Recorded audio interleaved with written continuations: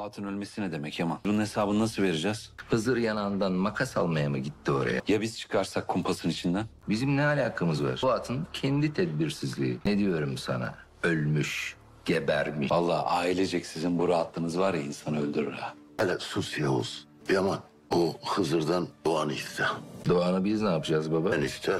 Ben bilirim ona ne yapacağımı.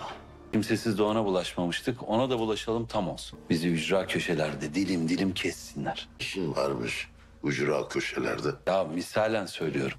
Adamın kimsesizleri her yerde. Tanımıyoruz, bilmiyoruz. Dost düşman belli değil ki. Her taraftan kaos yani. Sen çok gerildin Yavuz. Bir masaja git istersen. Hani hazır seni Alparslan'la kurtardık.